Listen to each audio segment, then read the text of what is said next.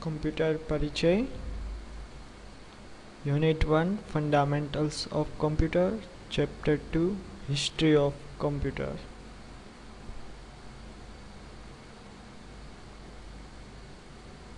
કમ્પ્યુટરનો ઇતિહાસ history of computer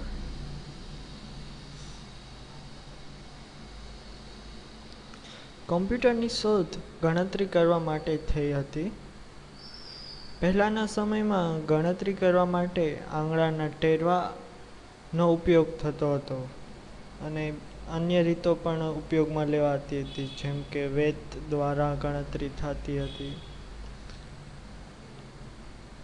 જેમ જેમ સમય ગયો, તેમ તેમ ગણતરીની રીતો પણ બદલાઈ, બદલાતી ગઈ અને વિવિધ સાધનો અસ્તિત્વમાં આવ્યા.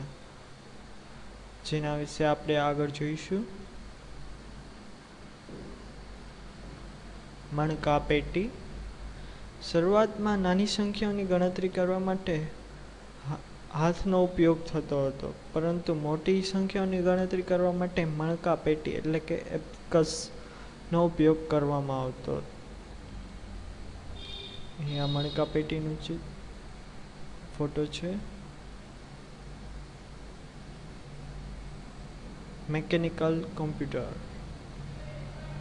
ઘણી મોટી સંખ્યાના સરવાળા બાદબાકી માટે મણકા પેટી સંતોષકારક રીતે સહાયક થતી નહોતી. એટલે કે મોટા, મોટી કોઈ ગણતરી કરવી હોય તો મણકા પેટીથી થઈ શકતી નહોતી.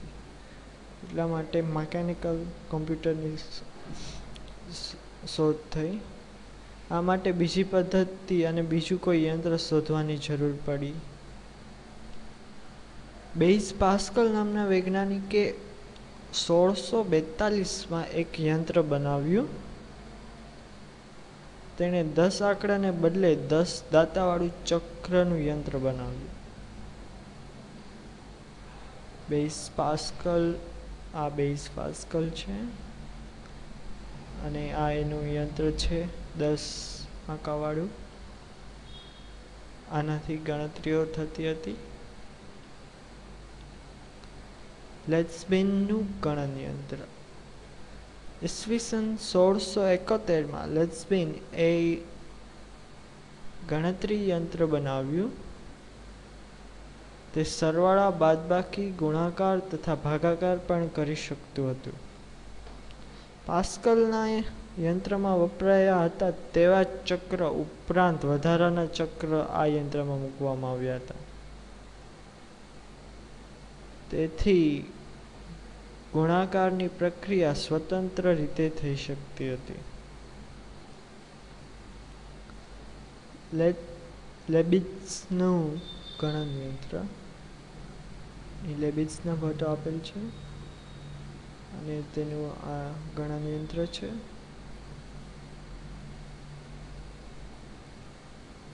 Charles Babbage difference engine. ઈસવીસન સત્તરસો બાણું, બાણુંમાં અંગ્રેજ વૈજ્ઞાનિક અને ગણિતશાસ્ત્રી ચાર્લ્સ બેબેજને ઈચ્છા એક એવું યંત્ર બનાવવાની હતી કે જેમાં માનવીની ડગલેને પગલે જરૂર ન પડે. એ પોતે એવું મશીન બનાવવા ઈચ્છતો હતો કે જેની મદદથી કેટલાક ગાણિતિક વિધેયોના મૂલ્યો તરત જ વિશ્વાસપાત્ર રીતે અને યાંત્રિક રીતે મળી રહે.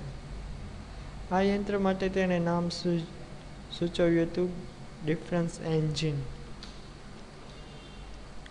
અઢારસો બત્રીસમાં તેણે ડિફરન્સ એન્જિનનો વિચાર પડતો મૂક્યો.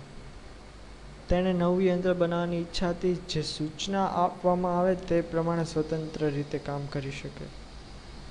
તેની આ ઈચ્છા પણ તે સમયે યંત્ર મર્યાદા અને સંશોધનની મર્યાદાને કારણે સફળ ન થઈ. પરંતુ તેણે જે સિદ્ધાંતો સૂચવ્યા હતા તે સ્વયં સંચાલિત કોમ્પ્યુટરમાં જેવા જ હતા. તેથી જ કદાચ તેને કોમ્પ્યુટરના પિતા માનવામાં આવે છે.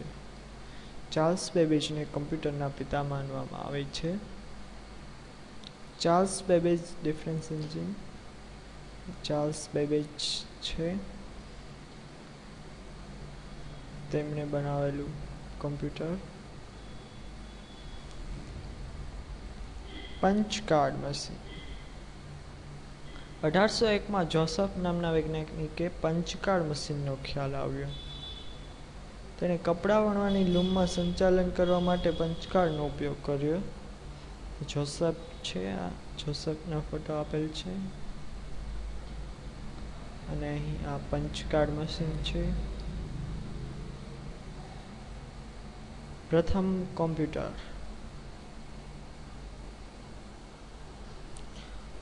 ઓગણીસો ચોવીસમાં આઈબીએમ કંપનીની શરૂઆત થઈ. ઓગણીસો સાડત્રીસમાં હાવર્ડ યુનિવર્સિટીના, હાવર્ડ એખિન એ આઈબીએમ કંપનીના સહયોગમાં સ્વ, પૂર્ણ સ્વયં સંચાલિત યંત્ર બનાવવાની દિશામાં કાર્ય હાથ ધર્યું. ઓગણીસો સાડત્રીસમાં હાવર્ડ યુનિવર્સિટીના હાવર્ડ એ એકિન એ આઈબીએમ કંપનીના સહયોગમાં પૂર્ણ સ્વયં સંચાલિત યંત્ર બનાવવાની દિશામાં કાર્ય હાથ ધર્યું. ઓગણીસો ચુમ્માલીસના ઓગસ્ટ માસ દરમિયાન દુનિયાનું સૌપ્રથમ ઇલેક્ટ્રોનિક કોમ્પ્યુટર માર્ક વન તૈયાર થયું. ઓગણીસો ચુમ્માલીસના ઓગસ્ટ માસ દરમિયાન દુનિયાનું સૌ પ્રથમ ઇલેક્ટ્રોનિક કોમ્પ્યુટર માર્ક વન તૈયાર થયું. તેને A SCC automatic sequence controlled calculator તરીકે પણ ઓળખવામાં આવ્યું. આ મહાકાય યંત્ર એકાવન ફૂટ લંબાઈ અને આઠ ફૂટ ઊંચાઈ ધરાવતું હતું. તેમાં સવા ત્રણ લાખ જેટલા સાધનો તથા પાંચસો માઇલ જેટલા લંબાઈના વાયરનો ઉપયોગ થયો હતો. આ પ્રથમ કમ્પ્યુટરનો ફોટો છે. આ હાવર્ડ એ એકેનનો ફોટો છે. ભારતમાં કમ્પ્યુટરનો વિકાસ. ઓગણીસો પંચાવન દરમિયાન કલકત્તામાં સૌપ્રથમ કમ્પ્યુટર ઇન્સ્ટોલ થયું, એટલે કે ઓગણીસો પંચાવનમાં કલકત્તામાં સૌપ્રથમ કમ્પ્યુટર લાવવામાં આવ્યું. ઓગણીસો ત્રેસઠમાં આઈએસઆઈ જેયુ ઇન્સ્ટોલ થયું. જે બીજું કમ્પ્યુટર હતું? ઓગણીસો નેવ્યાસીની પચીસમી માર્ચના રોજ દિલ્હી ખાતે Cray X MP one four પ્રથમ સુપર કોમ્પ્યુટર ઇન્સ્ટોલ થયું.